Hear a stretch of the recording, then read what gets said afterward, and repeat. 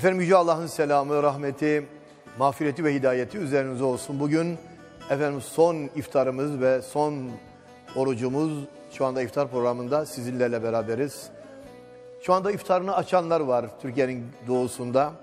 Batısına doğru gittikçe bizden sonra açacak olanlar var. Ama 30 günlük bir mücadeleydi o, bir ibadetti, güzel bir ortamdı, bereket dönemiydi. Biz bu bir aylık dönem içerisinde elimizden geldiği kadarınca Rabbimize kulluğumuzu ilan etmeye çalıştık.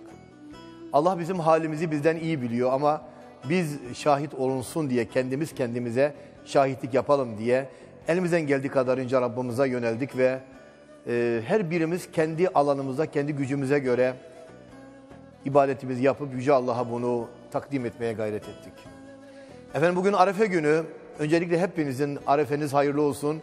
Hepinizin bayramı şimdiden Ramazan bayramınız mübarek olsun. Allah güzel günler görmeyi nasip eylesin. Bu Ramazan'da pek, pek dışarı çıkamayacağız ama kendimiz, ailemiz ve insanlık için dışarı çıkmayacağız. Bu bir imtihandı. İnşallah imtihanın da sonuna geldik. Nasıl Ramazan'ın sonuna geldikse bu evde kalışın da sonuna doğru geldik. Ee, inşallah zaferle geçeceğiz ama önemli olan bugün hastalığı yenmek değil. Bundan sonraki hastalıkları da Allah yenmeyi nasip eylesin. Veya bizi hastalıklarla Rabbim hiç ama hiç imtihan etmesin. Hep güzel günler, mutlu, temiz, hoş, narin, insanların mutlu olduğu, sıhhatli olduğu, inancına göre yaşayabildiği bir dönem, bir hayat bizi karşılasın diye ümit ediyoruz. Efendim 30 gün boyunca şöyle bir e, örnek vermek istiyorum eğer müsaade ederseniz. E, o temiz müsamahanızla efendim. 30 gün önce kapımızı biri çaldı, içeri girdi. Kapıyı açtık, böyle temiz giyimli, hoş görünümlü, yüzü siması, nurani bir e, yaşlı insan geldi. Dedi ki Allah'ın misafiriyim, beni eve alır mısınız dedi bize. Biz de dedik ki Allah'ın misafirisin, buyur gel. Ben dedi evin bir kenarında oturacağım. Ekmek istemiyorum, yemek istemiyorum, yatak istemiyorum, uyku istemiyorum. istirahat etmek için bir yer istemiyorum. Bana evin köşesinde bir yer verin yeter dedi. Biz de kırmadık. Peki, peki dedik. Hoş geldin. İstediğin yerde oturabilirsin dedik. Geldi oturdu evin bir kenarında. Elinde bir kalem vardı, bir kağıt vardı, bir defter vardı, bir şeyler yazıyordu. 24 saat boyunca yazdı habire yazdı, yazdı, yazdı. O narin, güzel, sevecen, yaşlı abimiz, amcamız, büyüğümüz. Bugün akşam biraz sonra elveda diyecek, ayrılacak evden. Yanında yazmış olduğu defteri, kalemi alacak.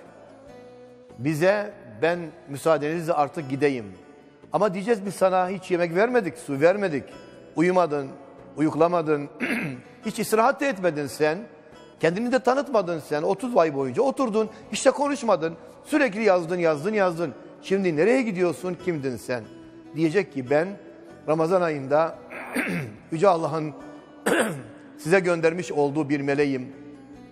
Geldim ve Ramazan ayında bir meleğim. Geldim ve Ramazan ayında yaptığınız bütün ibadetleri yazmak için geldim. Hasenatınızı, ibadetinizi, taatinizi, yönelişinizi yazdım. Yaptığınız her şeyi yazdım, iyi veya kötü. Ben meleğim, uyumam, yemek yemem, su içmem, istirahat etmem. Benim görevim ancak yazmaktır. Allah'a bilgileri aktarmaktır. Şimdi işim bitti. Ben bütün amelinizi bir aylık geçmişinizi Allah'a arz edeceğim.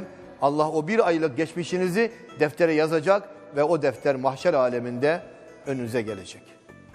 Şimdi misafir evinizde toparlanıyor. İftardan sonra gidecek artık. Nereye gidecek? Rahman'a gidecek. Bilgileri arz edecek. Diyecek ki Allah'ım şu evde, şu binada, şu şehirde, şu ülkede, şu dairedeki aile seni sevdi. Senin misafirini kabul etti. Ramazan'ı güzel geçirdi. ibadetini yaptı. Allah'ım bu aileye merhamet et. Bu aileye rahmetinle muamele et diye dua edecek. Biz böyle bir yerdeyiz işte. Onun için Mevlam hepinizin, hepimizin dualarını kabul eylesin. Efendim bugün gerçi dışarı çıkamayacağız. Onun için misafirperverlik olmayacak pek. Ama yapmamız gereken şeyler var. Son günler, son günde bunları da sizinle paylaşmak istiyorum. Size bunları hatırlatmak istiyorum. Güzel şeyler yapacağız, iyi şeyler yapacağız. Önümüzdeki Ramazan'a kadar da ama önemli olan nokta şu. Sevaplara, ibadetlere, oruca, Kur'an-ı Kerim okumaya, zikre paydos demeyeceğiz. Bugün paydos değil. Bugün yeni bir sayfa açma günü. Günahlarımız affoldu. Aman bundan sonra önümüzdeki Ramazan'a kadar sözümüze duralım. Allah'a bir söz verdik. Ya Rabbi senin emrindeyiz diyelim. Biz o sözümüze sadık olalım. Sözümüze ihanet etmeyelim. Dua ile paylaşalım bugün. Başlayalım bugün de. Duamızı paylaşalım sizinle. Allah'ım senin yardımınla sabaha girdik. Allah'ım senin yardımınla akşama kavuştuk. Allah'ım senin yardımınla diriliyoruz. Evet Allah'ım senin kudretinle, senin talimatınla ölüyoruz.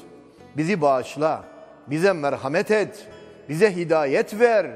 Bizi sağlıklı kıl ve bizlere helal rızık nasip et ki öyle helal ve güzel bir rızık, bol rızık ver ki bizi başkasına muhtaç etme. Hiç kimseye muhtaç etme ya Rabbi. Yine bu programı bugün bağlarken şimdi sorulara geçeceğim ama Hz. Ayşe'ye peygamberimizin bu ayda öğrettiği duayı yeniden paylaşalım. Allahümme inneke afuvun tuhibbul affe fa'fu anni. Allah'ım sen affedicisin. Allah'ım sen affedicisin. Allah'ım sen affı seversin. Beni affeyle ya Rabbi. Ve biz her sıkıntıda hasbunallahu ve ni'mel vekil. Bunu bol bol söyleyelim. Hasbunallahu ve ni'mel vekil. Allah bize yeter o ne güzel vekildir. Peygamberimize geldiler dediler ki düşmanlar toplandı geliyorlar Medine'ye. İçeriden ve dışarıdan geliyorlar deyince Hazreti Peygamber hiç telaşlanmadı. Hasbunallahu ve ni'mel vekil. Yeter bize Allah o ne güzel vekildir dedim. Allah o vekaletten bizi hiç ayırmasın efendim diyoruz ve e, bir WhatsApp sorusuyla bugünümüze de başlıyoruz.